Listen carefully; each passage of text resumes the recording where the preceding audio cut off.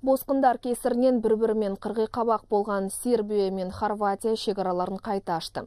Еске сала кетейік, өткен аптада Загреб көршілес мемлекеттен келетін тауарларды елге кіргізбей қойған болатын. Оған бастау қалған мигранттардың нөпірі әсер етті.